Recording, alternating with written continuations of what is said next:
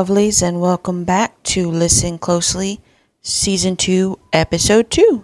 As always, no matter where you're listening from, whether it be Spotify, Apple Podcasts, Google Podcasts, and the whole host of others, uh, always make sure that you hit that subscribe button so you can be notified for these uh, shows. We do post them every Saturday at 8 a.m. unless something's going on, but then we will always uh, let you know by letting you know you can follow us on Facebook, Instagram, TikTok, YouTube, YouTube, yeah. and I think that's all of them. It's it's kind of hard to remember how many we have, but all of them are at HTT Listen Closely. Uh, YouTube's, I believe, just Listen Closely. And this is a very cool podcast today because we are actually doing this podcast from the brand new home studio. We are. This is the first one. So hopefully they can only get better from here. We might have some pet sounds. We are working on attempting to get the pets out of, you know, the studio. But right now they're all sleeping, so hopefully there shouldn't be any bad sounds. This episode that we are covering today, it is a sensitive topic. Um, so I just want to warn everybody right now, it is a true crime. So this episode will have uh, discussions over rape, sexual assault, murder, and you know just that kind of things. So if you do not want to listen to things like that, don't blame me at all. You do not have to listen to this episode, but we will be discussing this for this episode. And because of this episode being what it is, I did go ahead and tell you about it to kind of get you ready for it. Yes. So, um, and it is a local case. We are talking about Mary Catherine Edwards, who recently made the headlines here in our area. Yeah. So, Mary Catherine Edwards was born July 9th, 1963, to Lum Edwards and Mary Ann Edwards. She was a elementary school teacher in Beaumont, where she graduated from. So she stayed local. She did her passion. A lot of students said that she was a very loving, caring woman, and you know, you just felt the love in this in her smile. So we're just gonna go up into her final day. Miss Edwards was 31, and she was last seen alive Friday, January 13th, 1995. Uh, Floyd Broussard, which was her principal at the elementary school that she taught at, said that she was a diligent teacher. She normally stayed after school a little late to, you know, prepare her lesson plan for the following class, which a lot of teachers do. They want to make sure that they are ready for their kids for the next time that they see them. Especially on Friday, you don't want to have to work during the weekend, so you want to prepare everything so you can have it ready to go on Monday. So, according to the reports, Edwards was last seen leaving the elementary school around 5 p.m., and that was the day she was slain. So, it's this is all the same day. She then went home, walked her beagle as usual, and poured herself a glass of wine before calling her boyfriend. And that phone call was probably the last time anyone really spoke to her. Right. The next day, she did not respond to phone calls from her parents or really anyone. So her parents went to check on her in her townhouse to make sure that she was okay. Unfortunately, her father, Lum Edwards, went upstairs to find a horrifying scene. Mary Catherine Edwards' hands had been handcuffed behind her back and she had been sexually assaulted. Her partially clothed body was draped over the edge of the bathtub with her head in the water and her legs on the floor, meaning that the person drowned her. Right. She had about three dozen injuries to her body, indicative of the violent struggle, and they even found finger shaped bruises on her hips. The shower curtain had also been knocked from its place, and in the bedroom, the bedding had been torn from her bed. So, uh, obviously, she did not go down without a fight. She she fought hard until the very end Right. Evidence was at the scene though they could not really match it to any one person they ran it through i mean this is the days of so this happened in 1995 so these are the very early days of dna they're still trying to you know perfect it and it's nowhere near the dna that we have nowadays like the technology Right. so, because of it being the early stages of DNA technology, they were unable to get a match. So then they started to look into her past. All of us know that during true crimes, you know, like usually it's like the boyfriend, the husband did it, or you know, an estranged lover, or things like that. So that's the the police started to look into, you know, who could have possibly done this. she actually had a very clean background. Right. Her main things in life were church, gym, and of course her uh, students. So they they really didn't have any leads with that because, you know, everything checked out. She wasn't, you know, uh, in a sketchy area or you know had lived a sketchy lifestyle. That was just simply not her. She was a very well-rounded, sweet, comfortable lady that you could just, you know, you love to be around. Right. I mean, she was a teacher. Like, Right. She was one of the best teachers, from what I hear. Like, Right. You know, she did her job. So this is in all in 1995. They had no leads. They couldn't figure it out, so Right. it went cold. So in the mid 2000s, due to the genetic profile of uh, Edwards' killer, they re-entered it into the FBI's combined DNA index system, or CODIS. We all know CODIS is, you know, if you are a sexual offender or rapist or any of that, or even a murderer, they will automatically enter your DNA into CODIS, so that way it can be shared across, you know, the state lines and everything, so that way they can solve more of these cases. Right. So they entered that DNA uh, from the killer into CODIS, and there was still not a match, which means that this person hadn't committed a crime and was caught and sentenced for it. Right. Doesn't mean that, you know, they're scot clean. It just means they haven't been caught yet. Uh, so they just, they really hadn't just found the right person yet. Their thought was, you know, the more and more people are entered into this, hopefully we can one day find the killer Right. which you know it's DNA is a beautiful thing in that sense because you know you can submit your DNA and find these killers and match these killers to cold cases and solve a lot more of them and people can get can get closure. And let me let me stop you there because that's that's something that's quite interesting to me because you know you're talking about CODIS and what people don't realize is that like we're not talking about people that get like parking tickets and like people that get pulled over by the police for speed speeding tickets. Right. Like CODIS, you have you have to be fingerprinted. You have to have your you know all your stuff in the system. These are people who have done horrible stuff like Right. murder, attempted murder, stuff like that. So with that idea, now you're thinking, okay, this person wasn't necessarily a person that you would consider a bad guy.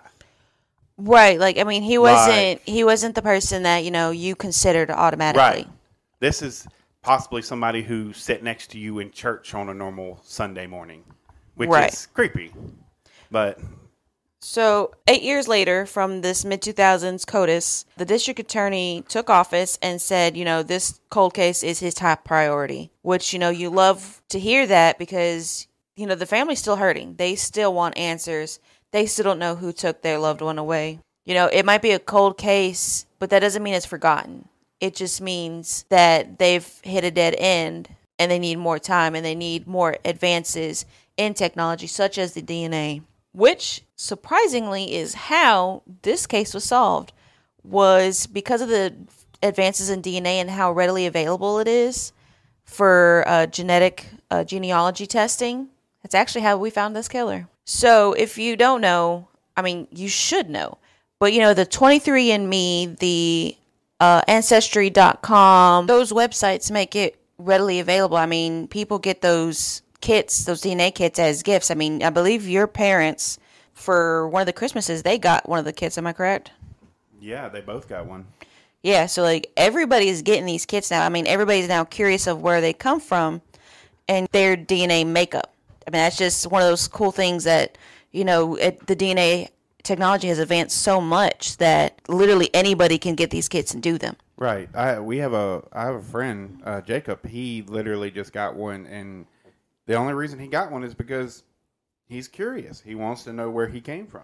Right, which is everyone. I mean, Yeah. ev- it's human nature to want to know where you've come from. So, because of these kits, it gave investigators an opportunity that they've never had before. Yeah. So, they submitted this killer's DNA to a private forensic lab in the woodlands that specializes in DNA testing for police agencies. Hmm. Unfortunately, because it was 1995 and we're now talking about, you know, 2000s, the DNA evidence in this case was fairly degraded, but they were able to still extract a tiny sample of the killer's DNA from the evidence still in storage. So they luckily they caught a break there. Uh, the cold case investigators then plugged the suspect's DNA profile into I don't know if it's called GEDmatch or GED match. I really don't know which way it's supposed to I be mean, said. the initials are GED. Right. So But anyways, it's a public genealogy database that has become a super important tool for investigators over the past several years now that, you know, this DNA genealogy thing has hit such, you know, it's it's big time now. yeah. And it's a free site. Anybody can upload their their results from their genealogy into this website. So once the investigators uploaded the killer's DNA uh, from the lab into this database, they were able to reverse engineer the family trees for the suspect. Right. And this is a practice many investigators do all across the United States.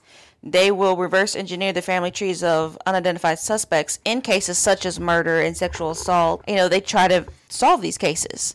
They were able to uh, create these trees to narrow down the suspect pools, and then they were able to, you know, figure out who was of the right age and geographical location at the time of these crimes. Because of that, investigators get DNA from their suspects to either confirm or eliminate them as, you know, suspects. Right. So it's really helpful. So in this Edwards case, several of the killer's second cousins and other distant relatives showed up in the database from both the maternal and paternal side. Okay. So they, I mean, they basically were able to narrow it down pretty far. So then they obtained DNA samples from about 30 distant relatives who were more than willing to cooperate. I mean, I don't know if somebody, if I, so I've never done one of these DNA kits. And if I ever did, and then they're like, hey, you know, you are related to quite possibly a suspect in a murder case or cold case, yeah, I would want to submit my Right. my yeah. DNA to help that family. So because of the fresh samples from these relatives, they were able to connect the dots and they narrowed it down to two people. The two people were Clayton Bernard Foreman and his brother. That's how super close they were able to connect this. Okay. then they started to go into the you know the criminal history of both men.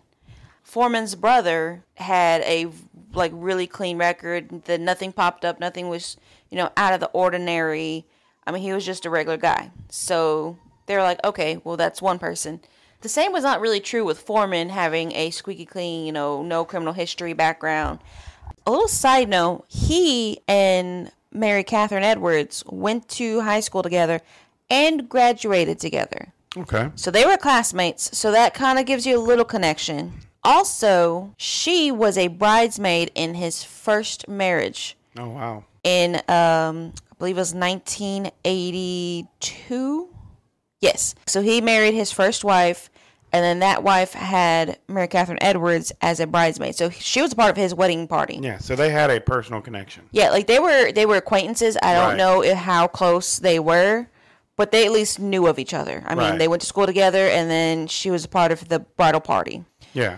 So that already kind of connected them a little bit, but still they were unsure of everything. So Foreman actually pled guilty to assaulting a fellow high school classmate in 1981, the year before he got married. So that was a year before Mary Catherine Edwards was a part of the bridal party. Wow. So he's already got a, you know, sketchy past. Uh, according to the court documents of that case, Foreman met up with the woman who was stranded at the gas station. Said, "Hey, you know, I'm a police officer. I'll give you a ride home." But instead of taking her home, he stopped his car, tied the woman up with a belt, holding a knife to her throat, sexually assaulted her. So that already gives you a lot of similarities from that 1981 case to Edwards' 1995 case. Right. Foreman had claimed to be a police officer in that 81 case. And in Edwards' case, the suspect utilized police tools of the trade. I mean, she was handcuffed. Right. Probably had handcuffs. Yeah. So that's already starting to not look good for him. He did plead guilty to aggravated assault and received three years probation in that 1981 case. And then, you know, basically got to live his life. I mean, we know 1981, so 1982 he got married Yeah. to his first wife. They did divorce, uh, and then he went on to keep going. But after learning about this previous sexual assault case, the investigators tracked Foreman to his home in Ohio. So he moved away. Yeah. Like he's no longer in this area. I wouldn't really be either if I might have done something. Right. But they tracked him down to Ohio and they were able to collect some trash from the cans on his curbside, which a lot of people think that's pretty sketchy. Actually, if it's on the curbside in public road, it's full on access. You can get it. Yeah. Not only that, but investigators do that all the time. Yeah. Well, yes, and For some, like I said, some samples, people yeah. say, "Well, that's not right. You're taking property." It was trash. That's how they're solving these cases. So Right. they did that. They collected DNA off of some of the items within that trash can, and it matched. Hmm. He was the person who entered her home, bound her hands behind her back with handcuffs, sexually assaulted her, and eventually killing her. Wow. Um, as we stated, they were classmates, and some of the other classmates of both of them were actually pretty shocked. They thought he couldn't possibly have done this because he was um, planning the reunion party. Yeah. And he was in charge of the um, memorials of the classmates who are no longer with them. So they thought it was kind of a no, not him. You know, you always hear that. Couldn't possibly be them. They're just too nice or they're doing this. What kind of person do you have to be to be the memorial planner for your graduation party and knowing that one of the memorials that you have to plan is because of you? Right. So, Like- like, I. That that just blows my mind. it it's definitely a very it's it's an odd one Yeah. because I don't know if I would really plan that. I, I'd probably be like, you know what? Can I just be on decoration committee or Right. something like that? Like it it takes a special kind of evil to do something like that. Yeah. Her former students all remember her for her smile, her kindness, and her generosity. Uh, if you came in without snacks, she would go out and buy them with her own money. Right. I mean, she was just that kind of a teacher. Yeah. So, as we stated, this actually recently made the headlines again because this is very, very recently that they were able to connect Foreman for her murder. Yeah, it, it really amazes me because of this new technology and a piece of trash, they were able to track down this killer. Right. Like, and so my question now is, is that how many more is this system going to be able to find that have been cold cases for decades? Like, And I mean, it really kind of depends um, because unfortunately, sometimes the DNA evidence just disintegrates. right. I mean, it really depends on how well preserved that the items are kept.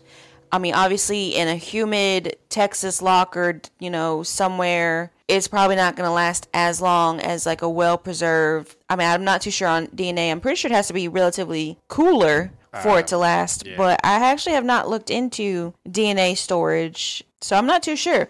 But I'd imagine, as anything else, you know, the colder it is, the better well preserved it is. Right. And some areas are just not equipped for that. right. So as of June 16th, 2021, he is now brought back to Texas into Jefferson County for trial. There you go. So this case is not done. Yeah. They still have to go through the trial process and the sentencing. If they find him guilty, I don't see why they wouldn't. But that, that's still a process that you have to do. right. But as of right now, he is back in Texas. He is no longer in Ohio. He is sitting in the Jefferson County Jail awaiting his trial. I'm not sure when that will be. They've, you know, obviously it just happened that he came back. So there's no um, real say of when the trial will begin. I don't believe it's been set yet. They're still probably trying to gather their case together, and we will hear soon, hopefully, when that trial starts and hopefully get the correct verdict and sentencing. You know, this this case is a really it's a horrible case. But because all this happened, he will now be entered in CODIS. So if he has done anything else other than the 81 case and this 95 case, it'll be brought up. Yeah. I mean, like I said, he is now forever entered into CODIS. So if another case does come up that is tied to him, they will at least now have closure. And there's no telling how he entered her home. I mean, he could have said he was a police officer like he did in the 81 case, but Yeah. because they had that connection, I don't personally think that's how it went down. I think he might have, you know, stopped by. She knew who he was, possibly invited him in, and then the struggle happened. Yeah, yeah. But we don't know. She's not here with us to tell us what happened. So we only have to rely on what he says. And of course, he's going to spin it Of course. to be, oh, well, it's not, that's not how it happened or whatever have you. I mean, but then you, again, you never know. He might have killer remorse and could tell us. You're very well good. Um, that's a rare thing that happens, but it does happen. Or maybe he'll, you know, tell us more for a reduced sentence. There's there's really no telling until this trial actually comes forth and they talk with him and see where it goes. So this will this will be definitely one that we'll have to update on uh, once everything is said and done and how everything ended up turning out. Right. But I do want to get your opinion on on this whole case. So, I think that, and this is just me personally. Um, I honestly think that first off, uh, pay respects to the family of Miss um, Edwards and her family. Um, I know that you know a big part of this right now is they can finally breathe some sighs of relief because they found the person that did it and that that's a big thing because there are a lot of people out there who are still going through the motions because they don't know who killed their loved one or their family member. And at least he's off the streets, so he Right. can't harm anyone Exactly. else. Um, I think personally that I, you know, one of the big things that you always talk about, and something that I want to uh, bring to it as well, is that you know we talk about the killer, but we really want to memorialize the victim, and that's uh, I just I'm glad that they found the guy that actually did it. I'm glad that they are using this DNA technology and and they're doing their due diligence to find these killers now with this technology. Uh, it's an amazing process and something that I, I want to look more into. The other thing about it is is that you know personally, I mean, there's no question about it because the DNA is there. He did it, and he should be tried and to the highest extent of the law and put in jail or or whatever whatever the jury decides. Right. So that's kind of my statement on it. I, I mean, I I don't know other than just remorse for this wonderful family and this wonderful, amazing teacher who went above and beyond for her kids and was an amazing lady. And that was just taken yeah, taken from us. right. So that's all I got on that. And that's why I really didn't I didn't delve too much into his life because it's not about him. Right. This episode is like the previous true crime. It's not about the actual killers themselves, Right. but we do this for the victims Yeah. and to, you know, share their story that might help others. and you know maybe somebody hears this and they know you know and that that's the big thing it, it- it helps people because maybe somebody hears this and they know of a of a true crime that needs to be solved and they're like hey you know like you said they're they're relatives like hey maybe i should go give my blood maybe i should help try to find these killers Right. you know I mean, you don't automatically think, you know, I'm giving my, you know, I'm doing my genealogy and I, hey, I could help solve a case. right you don't Because, you know, I was not really too interested in doing these genealogy kits. I mean, I basically know where I came from. yeah But, you know, after seeing cases like this, it's like, wow, you know, you never know. Maybe my DNA could somehow, along the ways, help. right And it might not be that a, a crime that's happened in the past, it might be a future crime. yeah And once they enter this DNA, they'll be like, oh, well, hey, you were a relative. We're trying to help solve this. Well, I do believe that is all for this episode. Like I said, it was a very tough one to cover and talk about, but it needed to be discussed. yeah Not for the killer, but for the victim. And hopefully, like I said, this trial does bring some sort of closure for the family. It is not going to bring their loved one back. We know this, but hopefully, it gives them some peace. right Uh, and that's all we can ever ask for. Yeah. As always, we ask that you do one thing and one thing only, and that's listen closely.